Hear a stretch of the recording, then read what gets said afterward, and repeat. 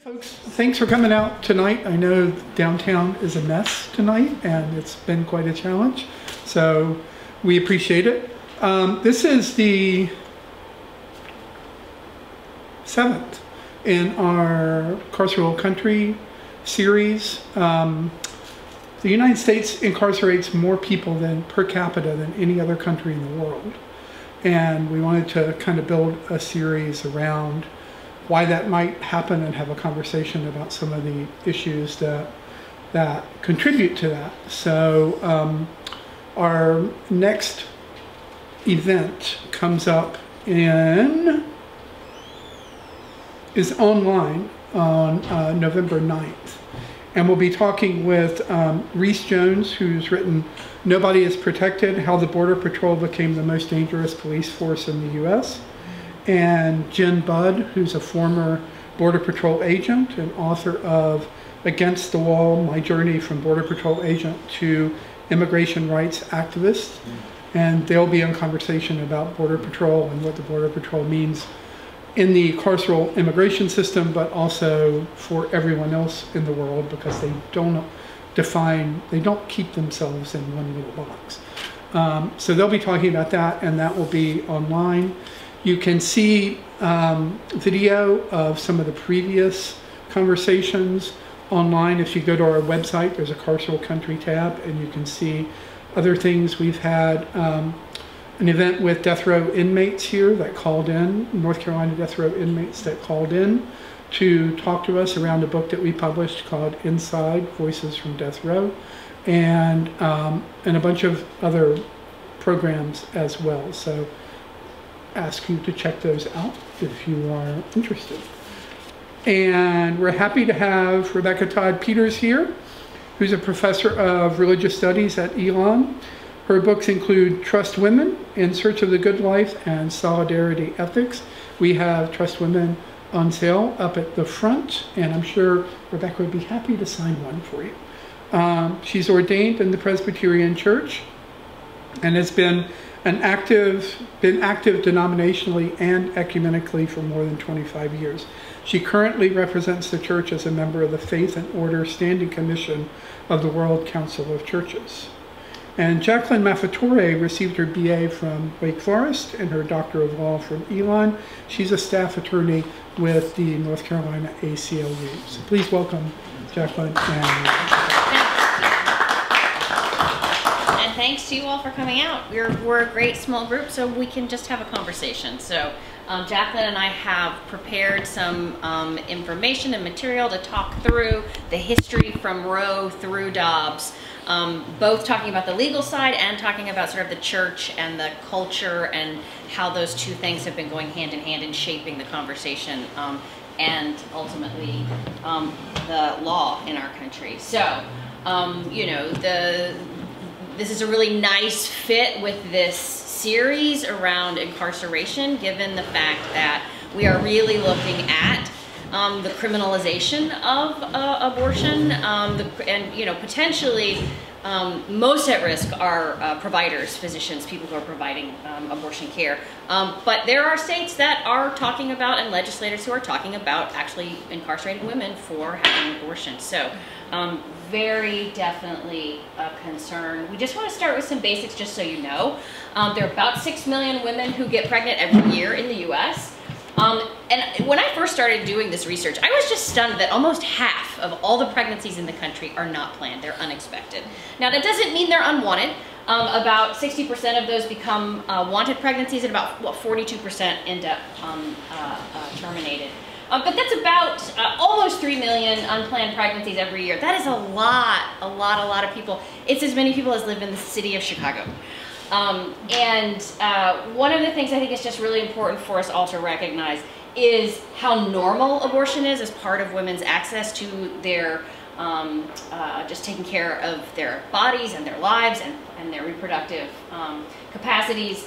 Um, so 42% of unplanned pregnancies are terminated, 19% um, of all pregnancies end in abortion, and about a quarter of women will have an abortion by the time they're 45. So it's also really helpful to recognize that that 42% rate that stays constant as the pregnancy rate goes down.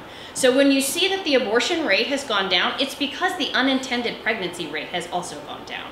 Um, and so we could talk about that. You know, long-acting reversible contraceptions have been a huge part of that. Um, but we'll also see in a little bit that that has meant that abortion has increased, the, the rate of abortion has increased among women in poverty. Um, so we'll talk about that in just a minute. But it's also really important to recognize that most women spend about 2.7 years either trying to get pregnant, being pregnant, or just having been pregnant and nursing.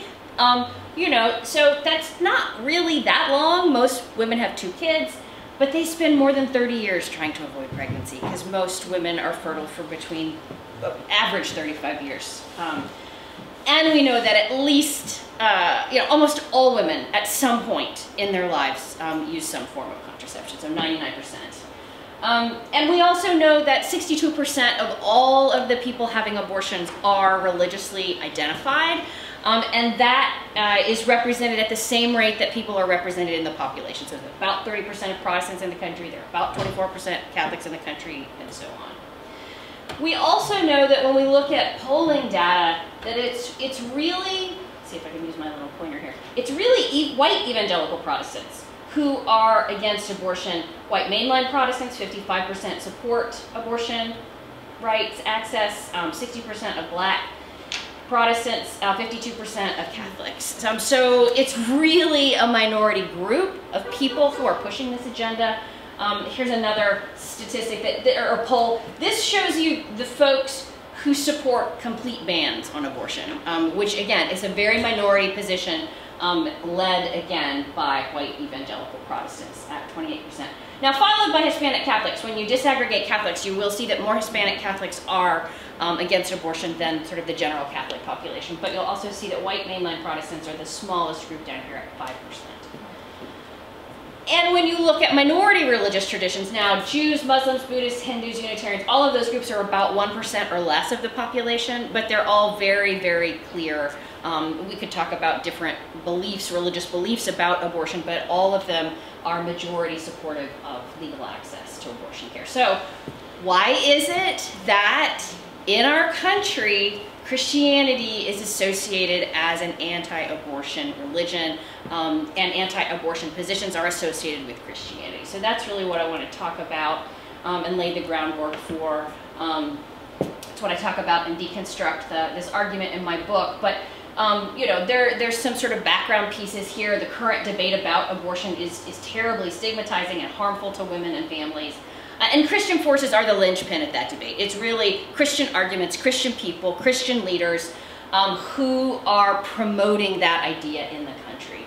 Um, and one of the things that, it's great that, that we're in dialogue around the legal issues here um, because it's really important also to remember the ways in which um, we're really focused on the legal question, but it's really, that isn't independent of the cultural attitude and conversation um, that is then allowed for this to move um, into uh, the Dobbs decision over, I mean, that didn't just happen overnight, we're gonna trace here, it happened over a 40, 45 year period.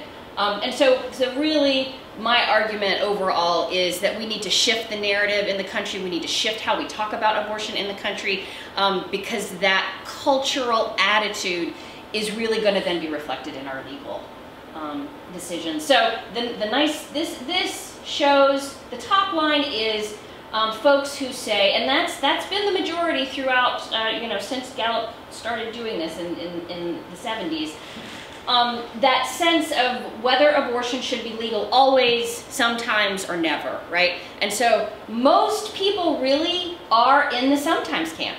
And that's the place that I want us to really hone in on and think about why. Why is that sometimes? And the, the, the language is usually certain circumstances. It's very coded language. Um, but you see that the dotted line is, that's the people who want to ban abortions. It's always been the most uh, minority position. The green line is people who want it to just be no laws, period. Um, this is since Dobbs, right? So we had a, a, a, a dip here um, and a spike here, um, which is also interesting to see if that, if we stick, if, if those attitudes continue. But I call this this framework, this paradigm that shapes how we talk about abortion in the country, the justification paradigm, meaning women have to justify their decisions. They have to justify their abortions, and the, that justification is framed as what I call the prim reason. So that's pre, prenatal health, rape, incest, and a mother's life and health, right? So the prim reasons. Those are the four certain circumstances that people will say, well, under those circumstances, it's okay. Now, despite the fact that the same thing physically is happening in the clinic, regardless of what the circumstance is, but there is this moral veneer over our conversation that is rooted in prim reasons.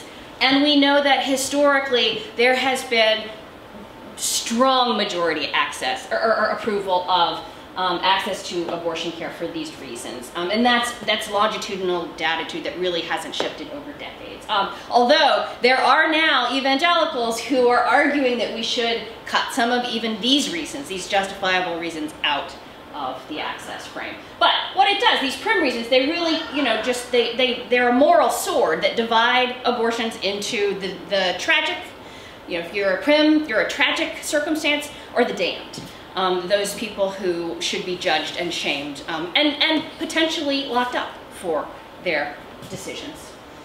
So this paradigm, you know, it also, it, it, it, a lot of things wrong with it we could talk about. Um, I'm going to focus on just a couple. One is that it creates false binaries. One of them is the pro-choice, pro-life binary. The binary is interesting because the pro-choice one is talking, it's a legal question. Women should have access, legal access. The pro-life issue is a moral question and a moral issue. This is where we stand on how we think about the morality of this. So you have one group talking about legal questions, one group talking about moral questions, and they just go on like this. They're not really even having any kind of framework or platform for um, dialogue. So it's also really important to recognize, especially in the context of a culture that thinks Christianity is against abortion, that in the 60s and the early 70s, almost all of the Christian denominations were supportive of the legalization of abortion, including the Southern Baptists, including the Mormons, um, including people that you, I think even the Jehovah's Witness, I mean, there were, they were making statements saying, in recognition of the cultural context of the 60s and 70s and the danger that women were facing, that people should have legal access to this health care. So the clergy consultation service was, was started in 1967. It was rabbis and clergy who helped people have access to care um, when they were not in states where they could get care. Um, the Presbyterian Church, this was before they reunited. Um, this is this, the Northern Church and that's the Southern Church. I won't read them, but, but there, this is also just symbolic of all of the mainline churches. All of them had similar kinds of statements saying, we think abortion should be legal. Mm-hmm. Um, so it's in this context then that we have Roe versus Wade come before the Supreme Court. And so I think it's important to remember that what brought the abortion issue before the Supreme Court was a Texas statute that criminalized abortion, made abortion a crime, um, made it a crime to procure abortion unless it was for the purpose of saving the life of the mother. At any stage of pregnancy, abortion was only legal in Texas for the purpose of saving the life of the mother, the health of the mother. Um, and it's in that context that the abortion question comes before the Supreme Court. Um, and, you know, despite the pro-life perspective that Toddy just set out um, regarding the, the, the moral, philosophical questions around when life begins, um, the Supreme Court said that that's, that's not our business. Um, they said we, we don't need to resolve that difficult question. Um, the law is not here to assign um, the right phil philosophy or um, moral code. The law is here to define what liberty means um, under the Constitution. That's the role of the courts, and we're going to completely stay out of that fray. The court acknowledged those competing arguments headlong. There was briefing before the court that made the made the argument um, that life begins at con conception and therefore abortion was some kind of moral ill. And what the court instead focused on uh, were those women who were in danger, those women who um, sought, were seeking um, bodily autonomy, um, equality of rights, um, and whether or not for them abortion access um, constituted a liberty interest that was protected under the Constitution. So the court looked to um, what's a doctrine that we call substantive due process, super wonky, but basically what that means is the court has historically looked to um, the 14th Amendment's due process clause and other aspects of the Constitution to define liberty because the Constitution does not otherwise define liberty. And it looked to cases um, that have essentially said that we have a fundamental right to choose how we parent our children. We have a fundamental right to choose um, to use contraceptive, contraceptives to, to, decide whether we even want to have children, um, to our own intimate, private sexual encounters.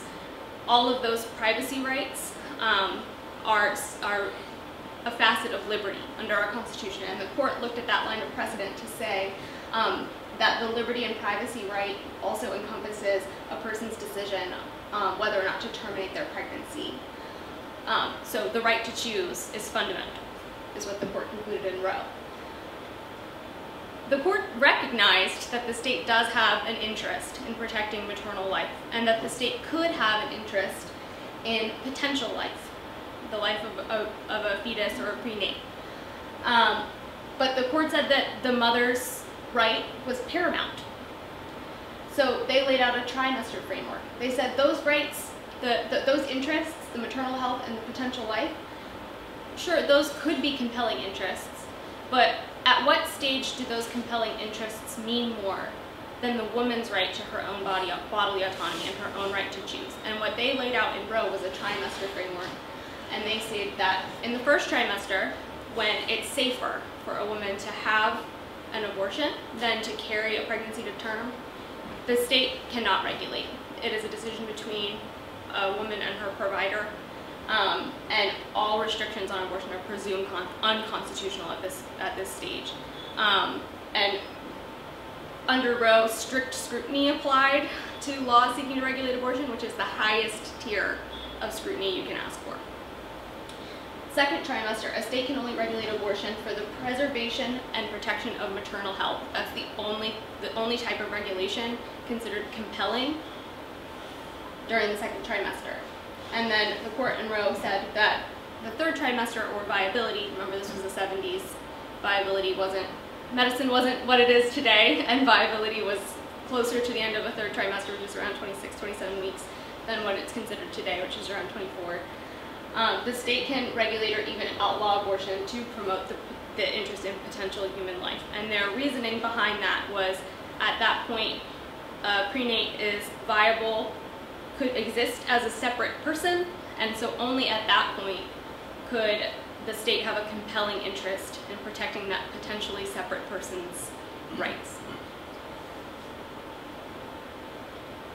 So, um, after Roe gets decided, um, it, was uh, sort of a wake-up call for Catholics and evangelicals um, who I think many of them were surprised by this.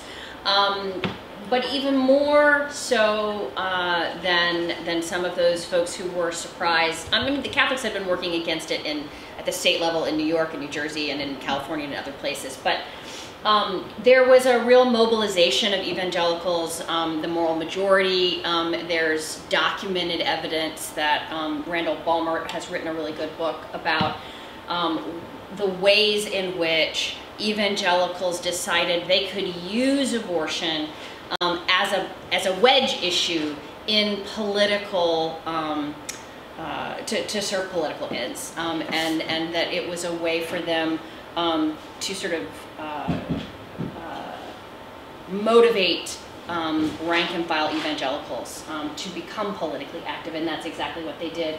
Um, you know, and it and it it has become, particularly in the South, it just permeates culture.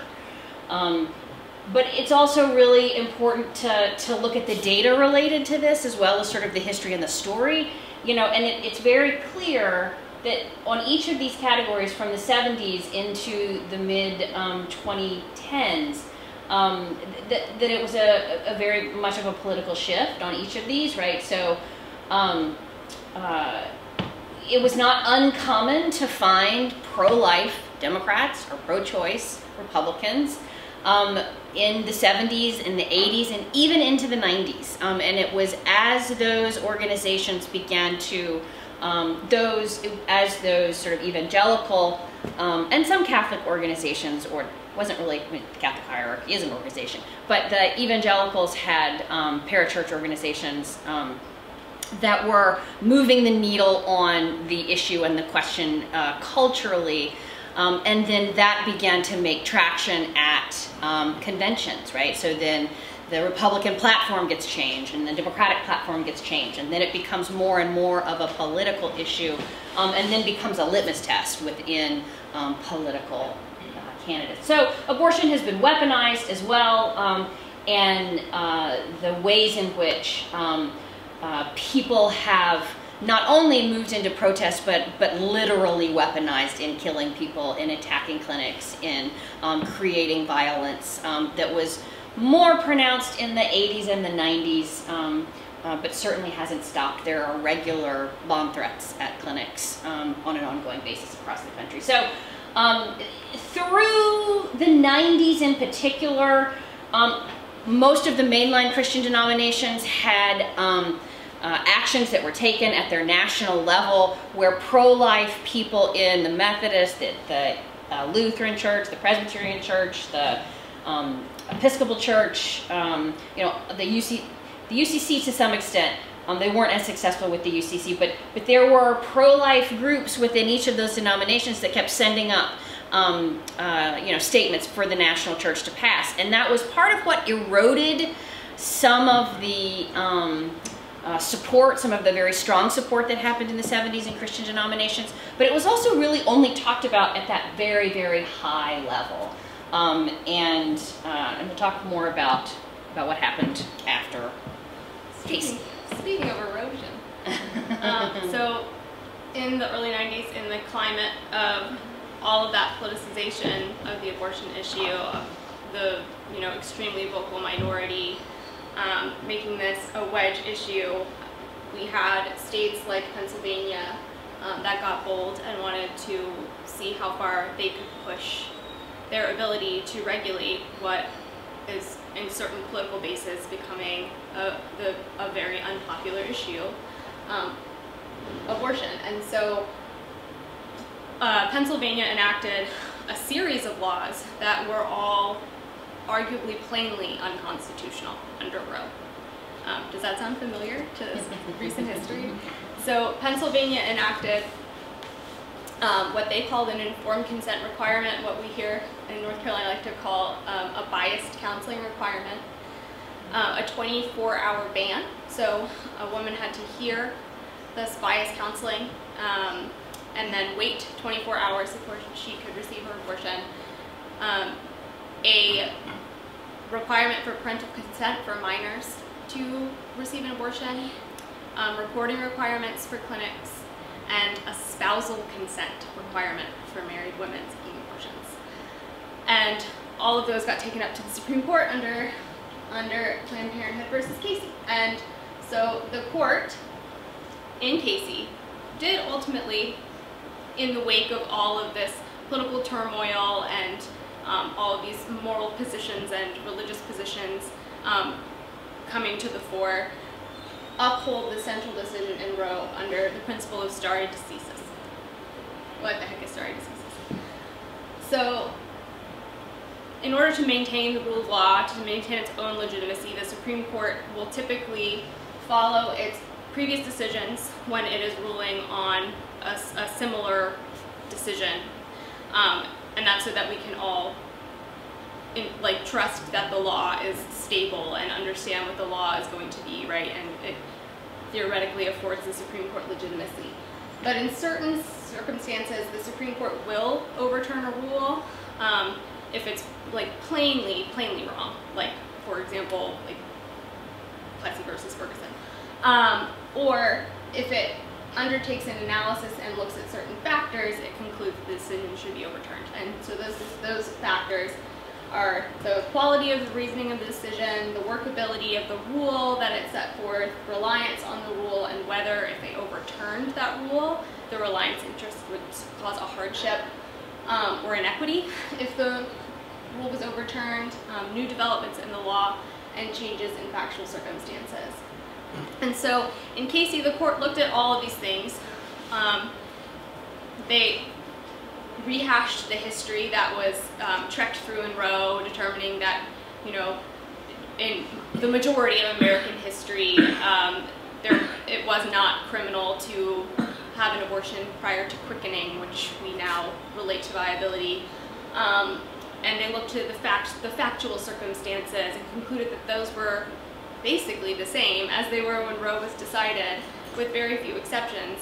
Um, and most importantly, in my opinion, they looked at reliance um, and they, they spoke about the extent to which people rely on the ability to control whether and when they have children in order to fully participate in our society on equal footing. And they concluded that abortion, um, pre-viability abortion remains a fundamental right in our country. And they, again, allegedly stayed out of that fray, really, you know, the fray regarding when life begins, um, whether or not uh, a fetus is a human life, um, and, you know, said some really strong stuff. A quote that we, we love and we still quote today, even though the decision is dead, that at the heart of liberty is the right to define one's own, one's own concept of existence, of meaning of the universe, and of the mystery of human life. Beliefs about these matters could not define the attributes of personhood, were they formed under compulsion of the state. So it is not the role of the court to mandate a moral code. That is what Casey said. So why am I saying that it eroded the right? because in what Casey also said is that the state's interest in protecting potential life is a legitimate interest from the very moment a woman becomes pregnant. That while a woman has a right to choose to terminate or continue her pregnancy before viability, it does not at all follow that the state is prohibited from taking steps to ensure that this choice is thoughtful and informed. They may enact rules and regulations designed to encourage her to know that there are philosophical and social arguments of great weight that can be brought to bear in favor of continuing the pregnancy. And that is an interest that the state has from moment one. So what did that mean then for the abortion right? It meant that Casey eliminated that trimester framework and maintained only the viability line. So pre-viability, you have a fundamental right to abortion. Post-viability, the state may regulate as long as it's rational made no distinction between the state's interest in maternal health and promoting potential life. So from the very moment someone is pregnant, they can regulate their ability to have an abortion on equal footing, whether the interest is maternal health or promoting potential life. And they adopted what we call the undue burden standard, which allows abortion regulations as long as they are not an undue burden on the ability to choose abortion. Remember, before I said these restrictions were subject to strict scrutiny. The highest level of legal scrutiny we have. Um, the hardest for a, a, a, lawmaker to overcome, you really have to have a compelling interest to overcome strict scrutiny. Undue burden is a made-up test. They made it up for this case. It only applied to abortion from 1992 to 2022. Um, what is an undue burden? The definition is super cyclical. Basically, an undue burden is a burden that is undue. Um, courts, in trying to interpret this, have had a really hard time. They've come up with things called like this the large fraction test, where if it causes an undue burden on a large fraction of, of women seeking access to abortion, then it's undue burden. And it's been really challenging to apply, and people have criticized its workability. And you might have remembered that I said workability earlier, and we're going to come back to that. Um, but what it also did was open the door to a bunch of regulations that would have been plainly unconstitutional under Roe. Um, and so it opened the door for people that in influential positions who maybe have the view that abortion is immoral, um, that it, that a, a, prenate is a human life, um, to actually have a material impact on legislation.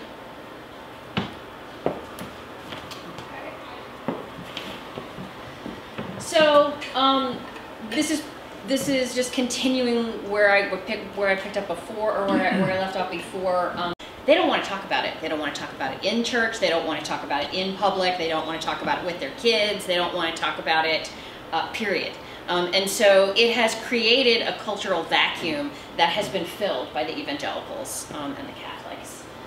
Um, and, uh, you know, I think it's always important whenever I talk to note that the Bible doesn't say anything at all about abortion, period, one way or the other. Um, abortion was certainly extant in the ancient Near East at the time that these texts were being written. People knew about abortion. People were getting abortions. There are other documents that we know um, that that's the case. Um, there are certainly lots and lots of things that the Bible said you shouldn't do, um, and it doesn't say anything about abortion. The, the only text that even comes close to thinking about sort of the moral status of the prenate is a text in Exodus where if two men are fighting and they accidentally hit a woman who's pregnant and she miscarries, then the penalty for the miscarriage is less than if she were to die, right? So it clearly shows that the there's a distinction made in that ancient Near East text between the quality or level of um, the prenate um, and the woman's life. But we do have um, a lot of cultural baggage that goes back to interpretations around the Garden of Eden, um, around um, Eve as the original mother of the living and the first uh, female human who um, supposedly, um, you know, sort of uh, disobeyed God by eating from the fruit of the tree of, of the knowledge of good and evil, um, and then uh, gave it to her husband who was there with her. Um, and this text has been interpreted through misogynist and patriarchal traditions um, in very negative ways that have created um, very um, uh, gendered particular uh, expectations about what women's role is, what their purpose is. You know, if you even think about the idea of menstruation being called the curse, right? That goes back to the garden, right? Eve was cursed with menstruation, which doesn't happen. That's not what the text says. But all of these things, it's all about interpretation. Um, and so a lot of what I've been doing um, in the last number of years is, is, is being part of um, feminist theological communities who are reinterpreting Eve and talking about the fact that Eve chose to be the first person who was able to recognize good and evil. She is our moral mother. She's the one who brought to us the one thing that makes us most human in the world, the ability to make moral decisions and to know um, good and uh, good and evil.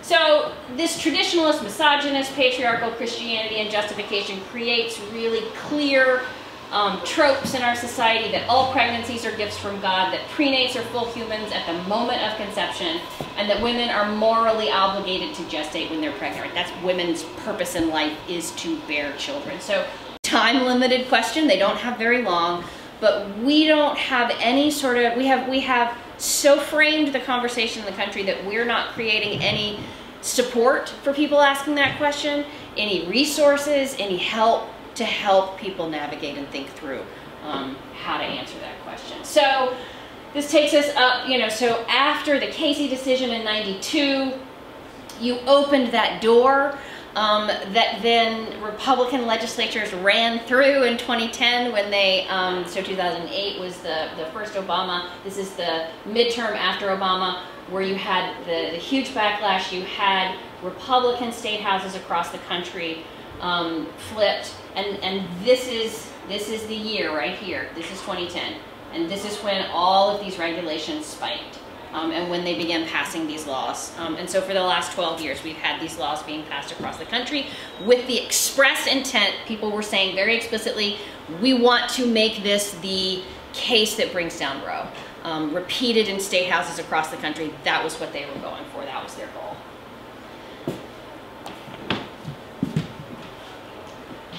So, what what did all of that mean for North Carolina specifically? Um, um, so in North Carolina, that meant that post 1992 and really mostly post 2010, um, we got a whole swath of restrictions on abortion in the state of North Carolina that would have been patently unconstitutional under the trimester framework in Roe. Um, and so what what that has ended up meaning is that 91% of North Carolina counties don't have an abortion provider. Um, a patient receiving an abortion in North Carolina has to get bias counseling, and North Carolina actually has one of the most stringent waiting periods in the country. We have a 72-hour waiting period. So pre 2010, we had a 24-hour waiting period, and then in, in 2013, we got a 72-hour waiting period. Um, you cannot use telehealth for medication abortion. So you have to go in person to receive a pill and take a pill in front of a doctor to have medication abortion when in other states you don't have to do that. There's no reason medically speaking to take the first pill in the presence of a doctor. The first pill in medication abortion is not the one that causes pregnancy. Um, and we have trap laws here in North Carolina that make it really hard to trap. So a trap law is a targeted restriction on abortion provider. Um, and usually what it, they are, they're these regulations that doctors have to comply with, that, that abortion facilities have to, like facilities providing abortions have to comply with, that are really difficult to comply with. They make you, your hallways have to be a certain width. Um, you have to have a, a specific separate, um, like locker room changing area. You essentially, they, they're requiring abortion providers to be set up like an OR or an ambulatory surgery center, even if they only want to provide medication abortion. And what that means is that it's really difficult to have a clinic that can provide abortion. Um, and that has the greatest impact on rural communities, poor communities, and um, communities of color. And we are one of the one of six states that bans um, perfectly qualified professionals, um, advanced practice clinicians um, from providing abortion, um, specifically um, medication abortion. Um, many of these practitioners are allowed to provide the exact same medication to help a woman go through a miscarriage, but they're not allowed to prescribe it in the instance of an abortion.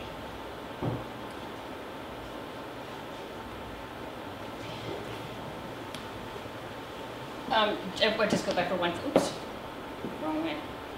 Um, just for one second to, to also just point out the relationship between some of these things that those trap laws are part of why only 91 or, or only 9% of counties have access to an abortion provider. Prior to that, physicians, OBGYNs could have abortions in their offices right? And so people had access in a way that when you say you can't do that because you have to be able to put two gurneys down a hallway, then you're um, restricting access um, for the care that people should be able to get from their regular doctor, and they're not then able to do that. Okay, so again, going back, um, again, just sort of the, the theme around um, who is filling the public airways with messages about Christianity and abortion. Um, the pro-life uh, politicians have always been much more strident, much more articulate about um, not necessarily, it's not a complex position, but that they are pro-life, whereas the pro-choice politicians are often, you know, trying to vacillate and um, sort of have it both ways, right? So you get the, the, the awful Bill Clinton quote that it should be um, safe, legal, and rare. Um, uh, which which is a stigmatizing comment, right? It's a stigmatizing comment implying that um, it, there's something wrong with it and therefore it should be rare.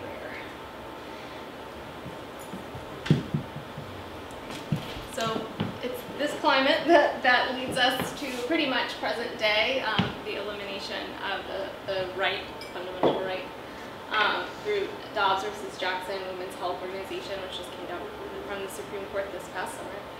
Um, and whereas um, the, the court in Roe and the court in Casey both were very explicit um, that they that moral theological positions um, should not come into the fray in the decision making um, and that liberty uh, should allow for people to make those sorts of moralistic um, or religious decisions on their own and should not should not in turn influence the law. Um, in Dobbs, what we see is is sort of a, a departure. Um, so in Dobbs, we get, while individuals are certainly free to think and say what they wish about existence, meaning, and the universe, and the mystery of human life, they are, all, they are not always free to act in accordance with those thoughts. License to act on the basis of such beliefs may correspond to one of the many understandings of liberty, but it is certainly not order liberty. So what happened in Dobbs? Um, the Dobbs majority used an originalist interpretation, and so originalism is a school of um, legal thought that essentially says that when interpreting a law or the Constitution, you should um, give the original meaning that the drafters of the documents would have assigned to it at the time of the drafting, and you should look back to the circumstances surrounding the time of the drafting in order to inform your decision. So, use an originalist interpretation and also utilized stare decisis that we talked about before um, to determine that Roe was wrongly decided. Um, while the majority opinion did not cut down those other substantive due process rights that we talked about, the you know freedom to um, marry, the, the, right to privacy in one's own uh, child rearing and familial or private sexual decisions, um, it left those intact um, by its text. The court stated that those liberty and privacy rights do not extend to an abortion.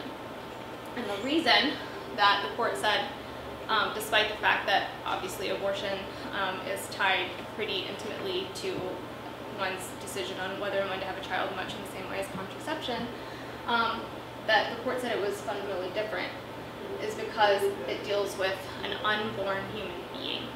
Um, and so that was a bit of a departure as well from the language that the court had previously used to describe um, a, a, fetus or a prenate um, and the interest that the state had um, in, in that fetus or prenate. Um, previously, we saw potential life, right? Um, the potential for life.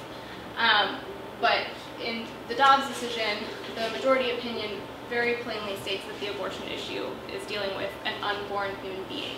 Um, and and I would go so far as to say it's a radical departure more than. I mean, this is the shift to a theological argument that, that, that, that what the status of, of so, this prenate is. So, you know, this phrase in and of itself could be considered um, a, a, moral or a religious stance. Um, and so, what that meant is that restrictions on abortion are constitutional if they have a rational basis. Rational basis review is the lowest level of scrutiny in constitutional law. Um, as long as your um, restriction is rationally related to a legitimate state interest, that is all you need to show. Um, and you can come up with the, the justification after the fact under rational basis review. It doesn't even actually need to be motivating law. Um, and the court explicitly returned the decision on the regulation of abortion to the states. So let's talk just briefly about, again, about stare decisis. So in Casey, right, the court went through this exact same exercise only 20 years ago and decided that the principles of stare decisis meant that the fundamental right to abortion should remain intact. They should not overturn. So, so what changed? Um, the dissent, as you'll see, will argue that nothing material to the decision has actually changed, but the court reevaluated the historical analysis that had been undertaken in Roe and Casey about the nature of the right and said it was wrong. Um, it looked to the undue burden standard, which the Casey court established in place of the trimester framework, and so many have criticized as unworkable as compared to the trimester framework, and said it's unworkable. What a surprise. Um, and the court looked to changes in factual circumstances in a way that, to me, also seems very much like a, a moral, uh, taking a moral position by looking at things like safe haven laws um, and the availability of safe haven laws um, in every state in the country to say, well, abortion is no longer as necessary because there are viable alternatives to abortion, such as safe haven laws. Um, the the idea that adoption is just like a one for one substitution for, for an abortion just overlooks so much and makes so many presumptions um, about a, a, person's ability to choose what's best for their life. Um, but that that is what happened. Um, and regarding reliance, they basically punted that to the states. They said, you know, we're not gonna, we don't think that it's the same kind of reliance interest that exists in other circumstances. You can prevent a pregnancy. Um, you know, a woman isn't always pregnant. um, there, but nonetheless, we're going to kick that to the states. If states think that there's a reliance interest, they can legislate about it or find that in their own. Um, so that's where we ended up. Um, the, the majority in and of itself is really concerning, but something else that many have found deeply concerning um, is the concurrence by Justice um, Thomas. And so Justice Thomas has long, long taken the position, so this is not new, but reiterated um, in this position um, is a little scarier, that the due process clause doesn't secure any substantive rights. It's a process. Um, it just secures a process. And so the Constitution doesn't, if the Constitution doesn't describe it as liberty, it's not a liberty. Um, and he explicitly stated that the Supreme Court should revisit the decisions that established a right to contraceptives, the right to privacy um, in your consensual sexual intimacy, um, and the right to same-sex marriage. Very explicitly called on the court to revisit those decisions. So this is the data that I was talking, referring to earlier. Um, we can see that uh, in the mid 80s, um, the uh, abortion um, rate was about 50% um, for women who were poor or near poor. I'm not sure why it's doing that. um, and it's now up to 75%. So um, this is just a clear um, recognition of the fact that um, increasingly um, it's poor women who are um, having abortions, um, and and and most most scholars think that's due to the fact that women who are who have access to health care are having better access to long-acting reversible contraception, so their unplanned pregnancy rate is going down, um, whereas poor women don't have regular access to, they may have sporadic access to health care um, and uh, uh to um, uh, contraception. Um, and so it's those months in between um, when they're getting pregnant um, and uh, having those unplanned pregnancies. it's also the case that women of color are overrepresented among abortion patients because women of color are overrepresented among people living in poverty. Um, so it goes back to sort of this historic racism um, and um, structural access to um, jobs, housing, um, education, all the sorts of things that help contribute to people having um, stable incomes. and it's also important to recognize that still the majority, uh, or the, the, the largest group of people having abortions are still white women. So this is also, I think, really important for people to know and remember that almost 90% of abortions happen in the first 12 weeks prior to Dobbs. That will change because women are not going to have access. They're going to have to travel. Many of them are going to have to get funds um, to be able to travel. Um, and so we're talking about beginning to push women much, much farther into pregnancies um, before they're able to have access to care. And my current research project right now is uh, the Abortion and Religion Project. I, I have a, a, team with me, so I'm Protestant and white. I have a black Protestant colleague, a Jewish colleague, a Muslim colleague, and a Catholic colleague, and we're interviewing women having abortions right now across the country. And so the women that we're seeing who are having to travel, already we're seeing just in the last couple of months that they're much later in their pregnancies than the women that we interviewed for the last year. So I just want to note that while abortion is very safe, even safer now than it was before, um, and in most cases safer than actually carrying a pregnancy to term, the longer that you're made to remain pregnant, the more potential risk an abortion involves. So the longer you're made to carry an unwanted pregnancy, the more likely you are to encounter a risk um, by virtue of your abortion. So, um, as I mentioned, it did not seem to the dissent like very much had changed at all between Roe and Casey um, and present day, and they were not shy about pointing that out. Uh, the dissent noted that the court reversed its course today for one reason and one reason only, because the composition of this court has changed. Um, and so we can really see, you know, despite the fact that, you know, throughout our nation's history, the Supreme Court has been like lauded as this apolitical entity, like that is uh, unpersuaded by public opinion. Um, that the court has changed along the same trajectory that much of this conversation has changed, and it, all it took was a personnel change um, in order to gut the right. Um, but the Supreme Court also acknowledged more than just what has happened to the like integrity of the Supreme Court. Um, they, they were also very clear in acknowledging the, the implications, the ramifications of the court's decision, right? Um, what the court's decision did here was enable states to criminalize abortion again. Um, across a vast array of circumstances, a state will be not have the right to vote, um, just fundamentally does not protect women.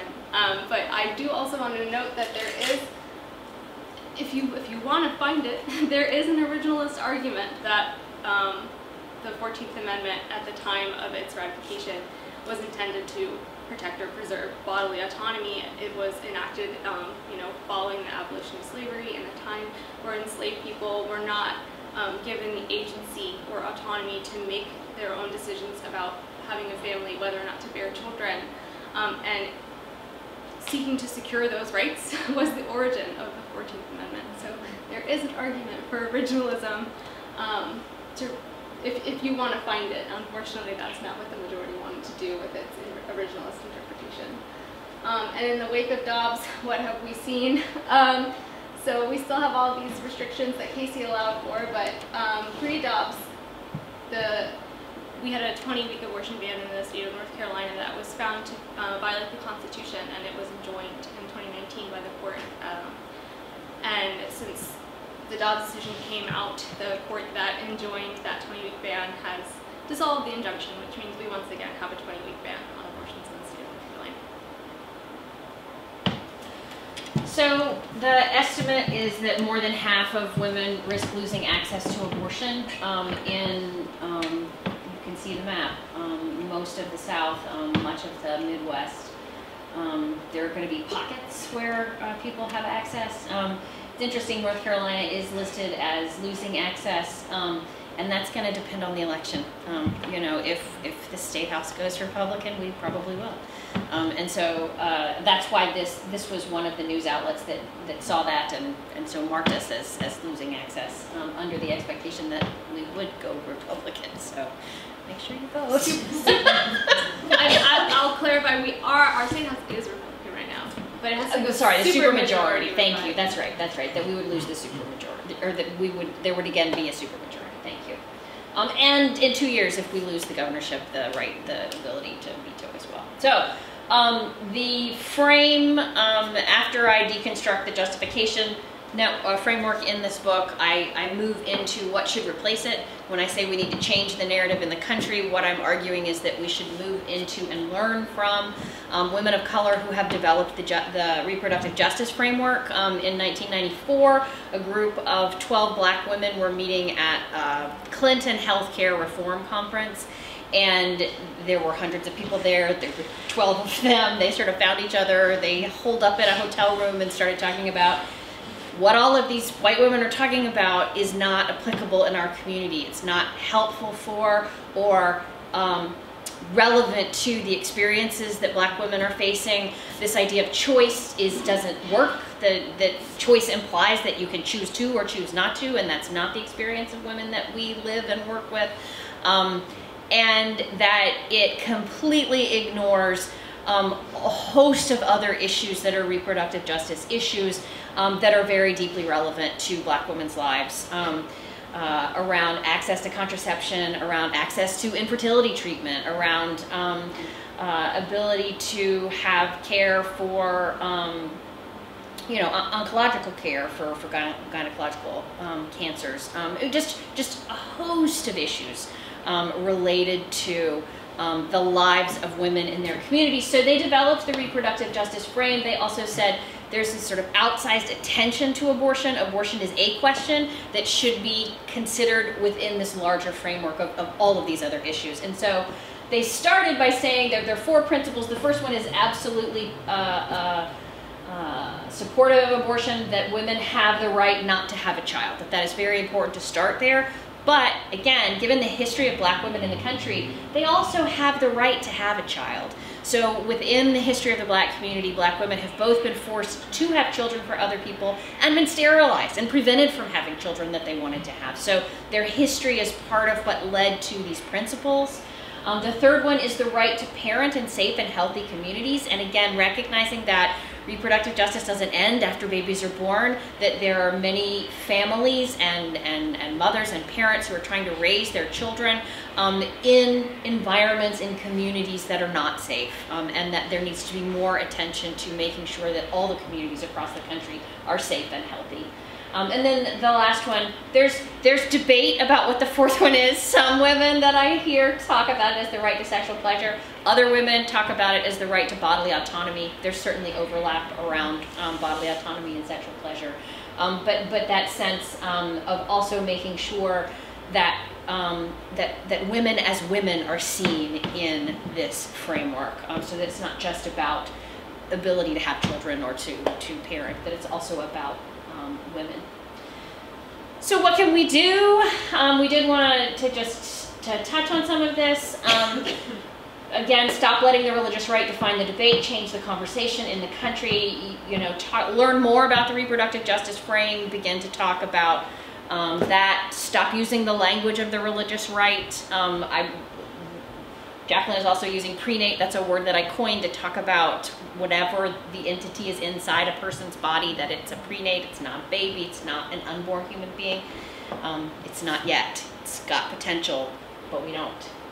It's not a human being yet. So we need a new narrative. Um, religious voices matter in this. Uh, started out talking about how Christian forces are the linchpin of the debate and how stigma about abortion is harmful um, and that we need new ways of talking um, fight abortion stigma. My kid brought some of the yard signs if you'd like a yard sign. um, we have yard signs. Um, uh, one says abortion access is a moral and social good. The other one said abortion bans are against my religion. Um, if you're a person of faith, talk about this from a faith perspective. There's also this binary that all the secular pro-choice people, or all the pro-choice people are secular, all the pro-life people are Christian, and there's just this vacuum again of that religious voice um, supporting abortion rights. Um, this is an organization that I'm on the board of, um, and if you are part of a religious community um, and would like to learn more about it, I'm happy to talk with you. We wrote a seven-week curriculum for people to study in their communities together. It's about it's using a reproductive justice frame. It's talking about bodies and sexuality and healthy sexuality. Within that, then talking about what does it mean to bear children and to have a family and be a family and and what is the role of, um, or how do we think about abortion um, within the context of that. So um, we are hoping that more religious communities across the country will become sacred congregations, will put big signs in their front of their churches and synagogues that say, we support women's uh, right to uh, abortion access, etc. Um, and then, you know, we have some, some final things to think about uh, what does this mean very practically as this has moved to the state level? So um, these are just some of the things that are possible. Repeal existing regulations, um, challenge existing laws in court, um, pass a state constitutional amendment, although maybe you could talk about that. That's sure. particularly difficult in North yeah. Carolina. so, I, and challenge existing laws in court, you might be like, what do you mean? Um, you just spend time talking to us about how our right has been decimated by the courts. Um, so challenge existing laws in court, when, when we say that, you know, the Supreme Court, federal courts are not our only option here. That we, um, there has been a lot of very successful litigation challenging these laws in state courts based on state constitutions. And some of these restrictions are so arbitrary that you could make an argument that they don't even meet that that base, that lowest level, that rational basis review level um, of review. So all is not lost in the courts. we, um, I would say down to here, uh, pursuing a fundamental right to abortion, again, redux in state court has seen success in places that you might not expect um, based on the fact that state constitutions can afford a greater privacy right, a greater equal protection right, um, maybe even a more like clearly defined and spec like specific privacy right than the federal constitution did. Um, for example, Kansas Um, Kansas's constitution was interpreted to protect the right to abortion, um, and they defeated a state constitutional amendment that would have outlawed um, or would have explicitly stated that abortion is not a fundamental right under the Kansas Constitution. Why is that hard here in North Carolina? Um, in North Carolina, we do not have citizen-initiated referendum. Um, and so we don't have the ability to gather signatures to put something on the ballot in the state of North Carolina. In the state of North Carolina, something goes on um, the ballot to become a constitutional amendment. If two-thirds, two-thirds, three-fifths, something more than a simple majority of the legislature votes to have it added to the ballot, and then we get to vote on it. So while it's still changing the conversation, I would argue is critical to the success of any of these. Um, it's it's critical a little differently um, for a state constitutional amendment in the state of North Carolina than it might be in other places. Um, we've also seen uh, states that have been passing laws um, to protect, explicitly protect abortion access in their states. So not, not waiting for a court case to define what their state constitution means, just laying out legislation that says in this state abortion is protected and that is the law. Um, but we've also seen states passing laws to protect physicians in their states from potential civil or criminal liability um, should they provide an abortion to somebody from a state that is currently trying to criminalize abortion. Um, so that is something else that we're seeing happen. And then, you know, it's early voting.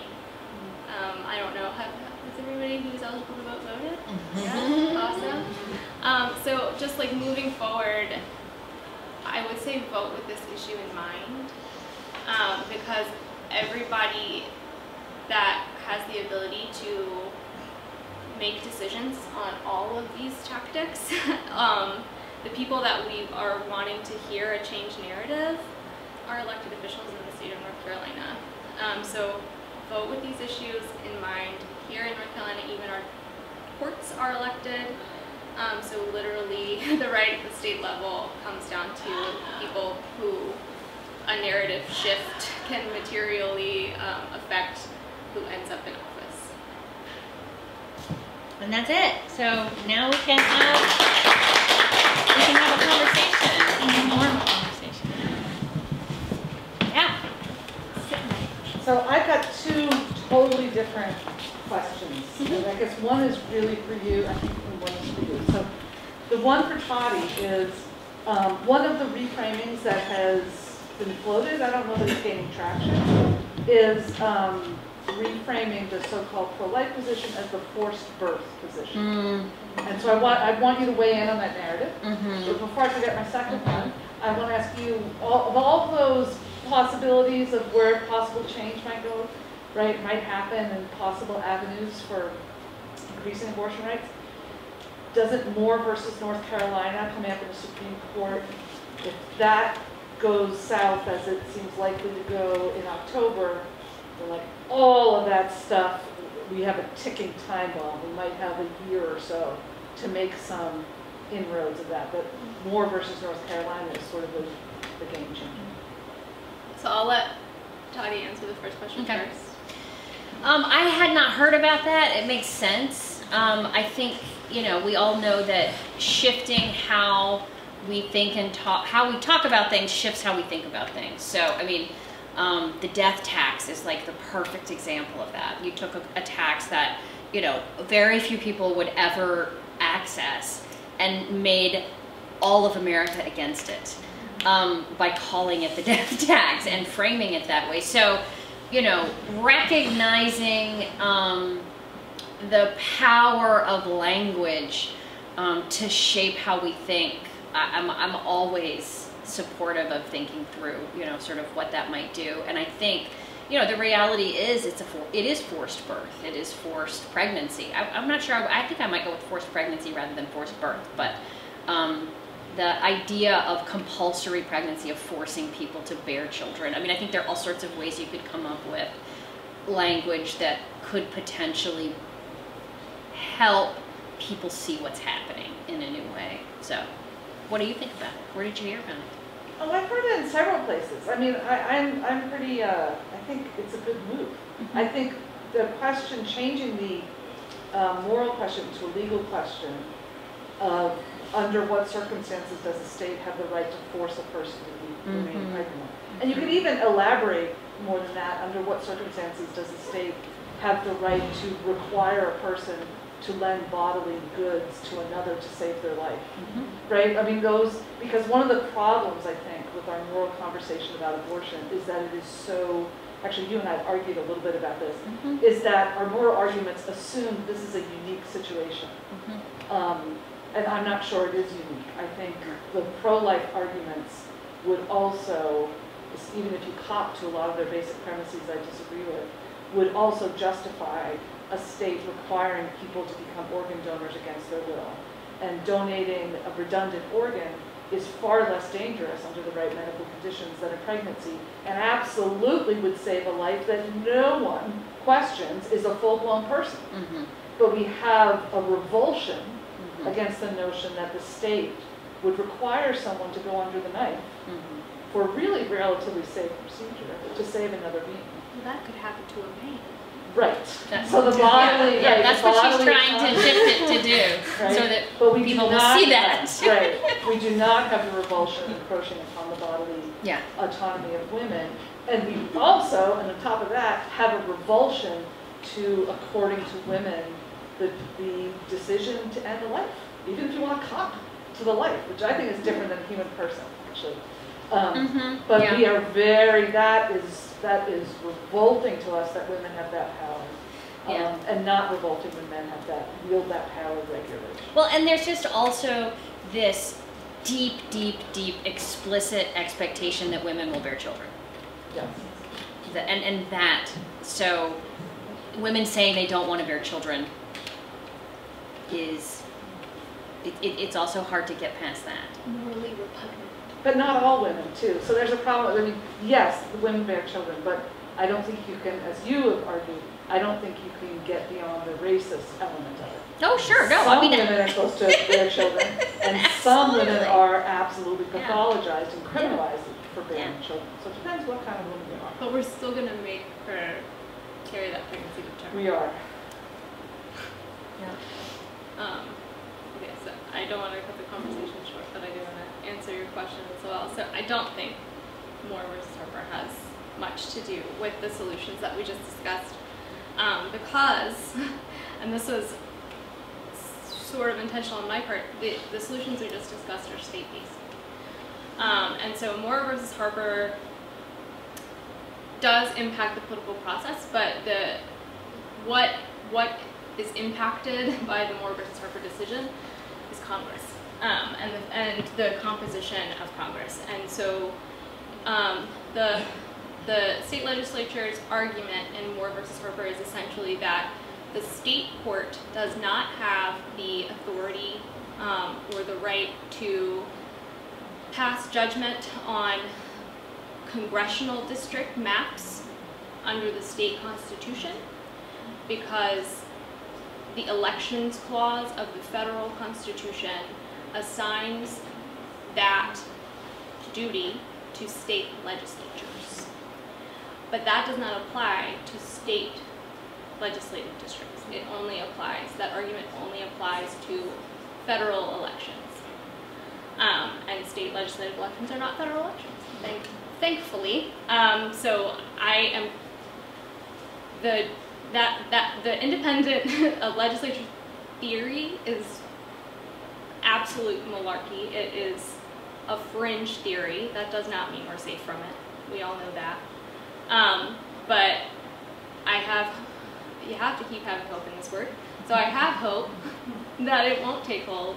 If it does take hold, I do not think that it will have an impact on what we just discussed because those are state-based um, state-based potential solutions. And I can't believe I did not like uplift my own work at all. But North, the North Carolina ACLU is currently challenging five of those restrictions that we talked about that were enacted following Casey um, as unconstitutional under the North Carolina Constitution. And that, law, that lawsuit is ongoing right now. Um, so we're arguing, so the lawsuit um, is seeking to invalidate the bias counseling requirement, the 72 hour waiting period, um, North Carolina's trap laws, the APC ban, so the, the ban that says that nurse, qualified nurse practitioners and um, physician assistants and, and nurse midwives cannot perform any abortion in the state of North Carolina. Um, and the telemedicine ban. We're challenging all five of those. And we have argued that none of them are rational, but we've also argued that the North Carolina Constitution should recognize a fundamental right to abortion, um, separate and apart from the federal constitution. So that that's moving through the courts now, not as fast as we might like, um, but it is moving through the courts now. Um, the folks that will decide that case are all elected officials. Mm. So our chances might fundamentally shift here in just a little bit. Hmm. Um, but again, those are all state-based. So thankfully, I don't think that horrible decision has has the possibility of making this already horrible situation more horrible. Does it have the potential to like impact things like um, a federal uh, federal statute protecting the right to abortion, or the ability to take actions like enlarging the court, or those kinds of things? Yeah, it, it does. Um, but to the extent that Dobbs punted this issue back down to the states, I don't think it has an impact on that.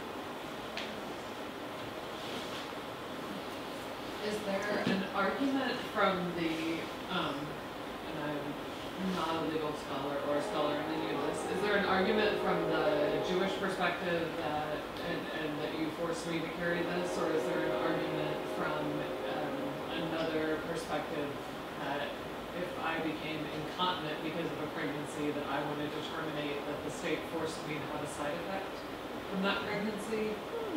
Are those, So the Jewish question is, is certainly one that's being pursued. Um, and there are cases, the case in Kentucky, right, that has been filed. Um, there was one in Florida, but it was, the people who filed it in Florida are a little bit wacky, and I'm not sure how strong that case is. But I think the one that's being filed in Kentucky um, is more solid, and they they're partnering with um, agencies and organizations that do this kind of work. Um, uh, and you know we'll see how far it goes. But you know there are there are very clear jewish laws that actually require abortion in circumstances where a woman's life is at risk. Um, and so um, i haven't haven't read all of what they're doing. I've just read about it in the paper. But um, i you know i think that that, that is certainly um, one strategy that's being pursued. Um, I, I, I have imagined the other, but I haven't heard of any cases. I mean, I think you would actually have to have that happen before someone could then sue. Yeah, that's right.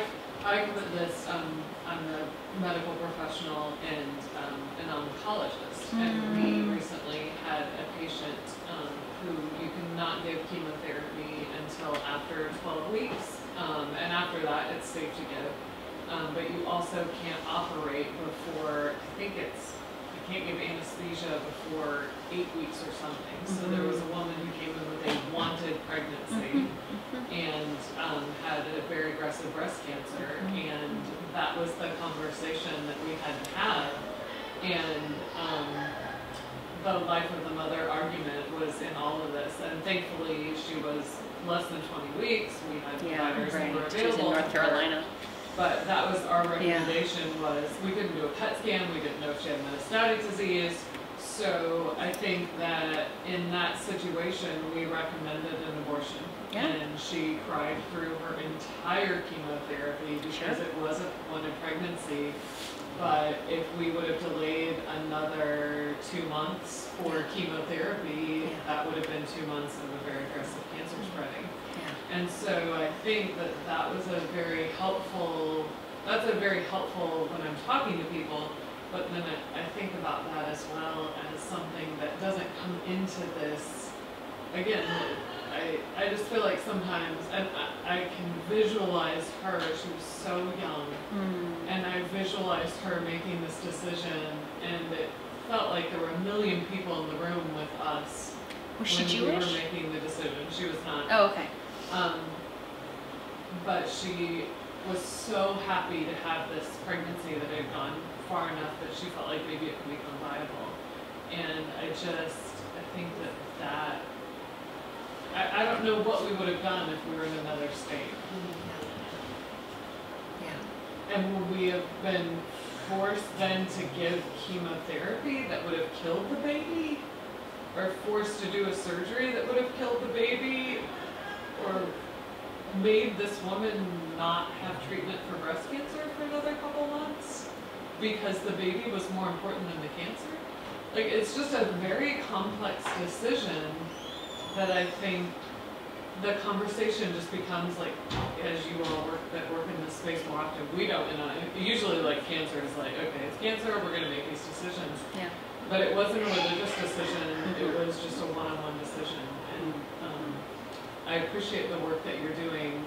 That has small. I mean, not have pregnant patients with breast cancer happen maybe once a year. Mm-hmm. Um, and usually they're later term and it's no problem and they go on and do fine, but I do, having that option available, um, is such important work and I just wish that we would have had a lawmaker in the room with us to say, what would you like us to do?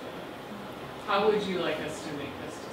Because here's your crying patient, here's the sort of Damocles that's above her head.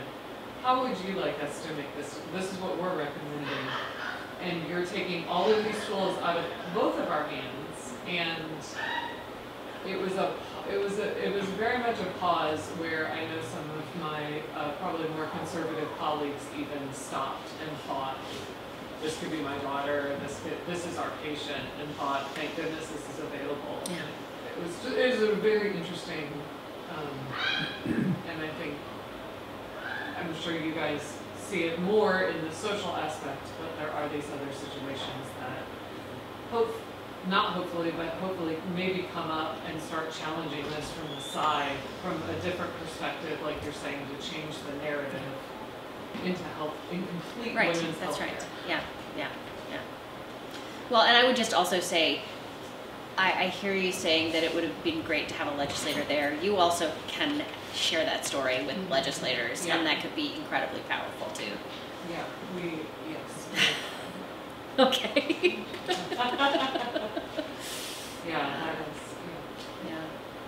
Because people don't hear those stories. I mean, it's one of the reasons I'm doing this current research project, trying to collect the stories. Because what is, I, the, the number of people that I talk to, just sort of in the public, who who have all these stereotypes about who has abortions, like you know, all these. It's just all the stuff, and and and the assumptions behind the, the legal rulings are that women are doing it casually, that they're not thinking about it, that they need these scripts to tell them that there are other positions that they haven't thought of.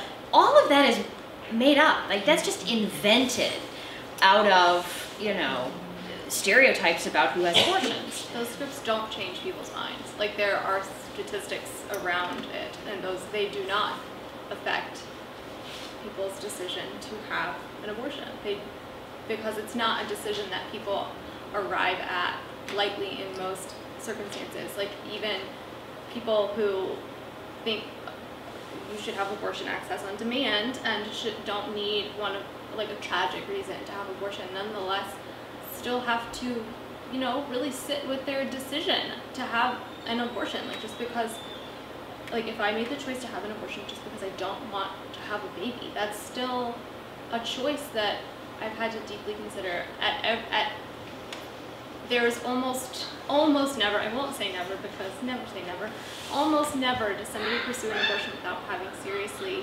considered and arrived at that decision.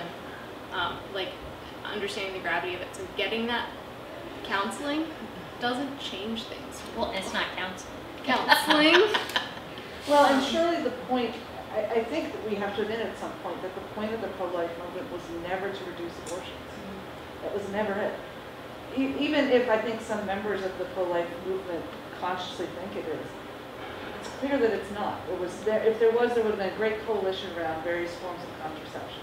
The point of forcing pregnant women um, to look at sonograms, the point of imposing that biased counseling on them is to create shame and stigma and to reinforce the idea that women are not moral agents and should not be moral agents.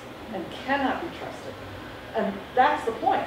So you could show the evidence, say, see, it's not working, the abortion still happened, but that's not, that's, it's fine. It is doing what it needs to be doing. We don't live in a world where we know that 25% of women access this form of health care in their reproductive lives. So it's a victory. I, I think in some ways the conversation over 40 has given way too much credit to the pro-life's own self-image, hmm.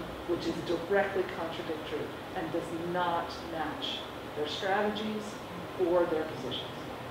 But somehow we've gone into this sort of taking them at face value. yeah. How, I mean, I think I saw something about this in the nation. I mean, I think you, you, you can't untangle white supremacy from misogyny and patriarchy, right? They're like the trifecta of evil. And um, they're, the ways in which they're intertwined are all about, um, you know, elevating uh,